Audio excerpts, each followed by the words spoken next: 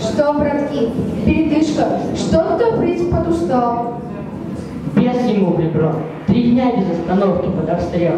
Слышал, артисты приедут к нам, а сейчас, думаю, побоятся. То пули свистят, то снаряды рвутся. и точно побоятся.